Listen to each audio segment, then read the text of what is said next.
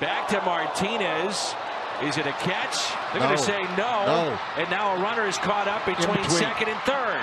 The tag is there and out. And Martinez is down, and hopefully he's all right.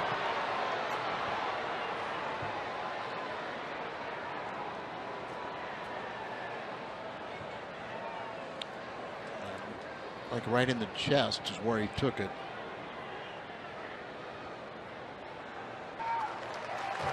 Should just knocked the wind out of him.